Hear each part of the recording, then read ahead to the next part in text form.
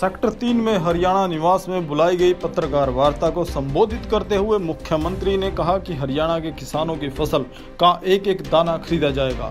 प्रदेश सरकार की प्राथमिकता हरियाणा के किसानों का हित में है और इसके लिए ही सबसे पहले मंडियों में प्रदेश के किसानों की फ़सलों को खरीदा जा रहा है। अन्य राज्यों के किसानों को अपनी उपज हरियाणा की मंडियों में लाने से पहले रजिस्ट्रेशन करवाना होगा, चाहे वह आड़तियों के माध्यम से हो या अपने स्तर पर हो। उन्होंने कहा कि पंजाब व राजस्थान सरकार भी न्यूनतम समर्थन मूल्य पर फ़सलों की खरीद करे ताकि वहाँ के किसानों को हरियाणा में आना ही ना पड़े। उन्होंने कहा कि धान की खरीद का सात दिनों के अंदर अंदर भुगतान करने के इंतज़ाम किए गए हैं। आई फार्म जनरेट होने व स्वीकृत होने के तीन दिन के अंदर अंदर भुगतान किया जा रहा है। एमएसपी पर नीचे खरीदने की शिकायतें जहाँ से आती हैं, जो हमने पता किया है। उसमें या तो जो प्रदेश से बाहर के जो लोग हैं, बिना रजिस्ट्रेशन के जो आ जाते हैं और जल्दी बेचना चाहते हैं, वो प्राइवेट मंडी प्राइवेट खरीदार को बेच के जाते हैं, वो फिर जिस ढंग से लेता लेता है।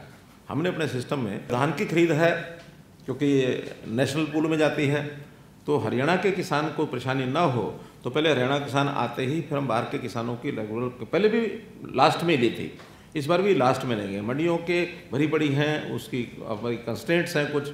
और जब ऐसा विषय आता तो पहले अपने प्रदेश के किसान का लिया जाए और अब ने रजिस्ट्रेशन बाहर के किसान की करनी शुरू कर दी है। उसी की की है जो आड़तियों से जिनका लेन देन है।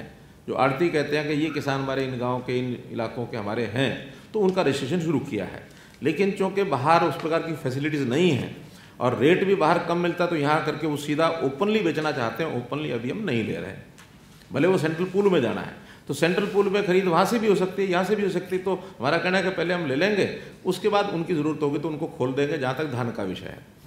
जहाँ तक बाजरा, मक्का का विषय है, ये चूँकि सेंट्रल पूल की खरीद नहीं है, ये हरियाणा की खरीद है।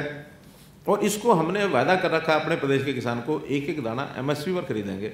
खरीदने के बाद इसको या तो वापस मार्केट में बेचना पड़ता है, या हमको पीडीएस में तीन चार महीने के लिए बाजरा, मक्का ये देना पड़ता है, मक्का पहले नहीं देते थे, इस बार से वो देना शुरू करेंगे। तो हमारी आवश्यकता जितनी है उतनी तो खपाएँगे बाकी हमको मार्केट में बेचना पड़ेगा। मार्केट में नुकसान से बिकता है।